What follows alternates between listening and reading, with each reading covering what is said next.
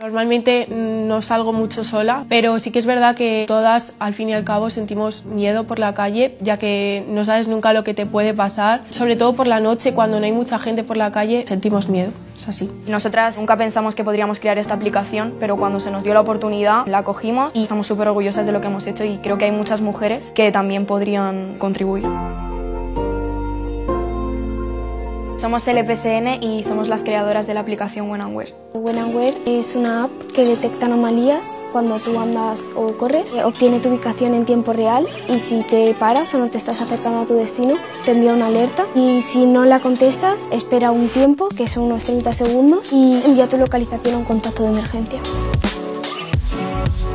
Tiene dos modos, uno que eh, tú estableces un destino y otro en el que estableces una ruta sin rumbo. Tiene una cámara y también tiene un botón del pánico que directamente puedes llamar a los servicios de emergencia. Yo la utilizo especialmente cuando voy sola al instituto por las mañanas o si vuelvo a dar una vuelta con mis amigos. Mi contacto de emergencia es mi madre, puesto que en caso de que pase algo es la primera persona que considero que se debe enterar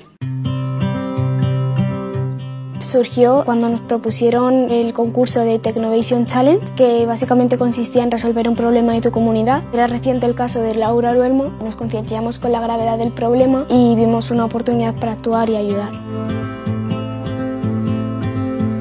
Nuestra aplicación se diferencia de otras similares porque es totalmente gratuita, porque evidentemente no podemos ponerle precio a la vida de una persona. Utilizamos un sistema de mapas que no es posible hackear y además todos tus datos se guardan en tu dispositivo. Tú tienes el control total de tus datos, no se comparten con ninguna otra persona ni con ninguna plataforma. Está enfocada a proporcionar seguridad a las mujeres, pero la puede utilizar cualquier tipo de colectivo, desde niños, personas con Alzheimer, personas ciegas, hombres que quieren usarla, o sea, cualquier tipo de colectivo está invitado a usarla. Nuestra aplicación eh, está programada con App Inventor y nuestro próximo paso es eh, pasarla a un sistema de programación más profesional que es Android Studios para poder implementarla en iOS porque hasta ahora solo está para Android. También queremos añadirle nuevos idiomas como el español porque hasta ahora solo está en inglés ya que las bases del concurso así lo requerían